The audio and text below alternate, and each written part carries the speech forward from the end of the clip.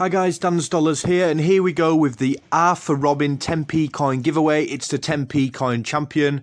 Sorry if there's any little bit of noise in the background while we're doing this giveaway, the next one.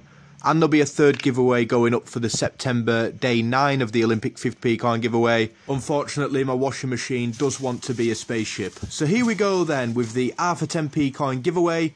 We're going to get through both of these giveaways really quick. There'll be another video going up for the Olympic one in a minute.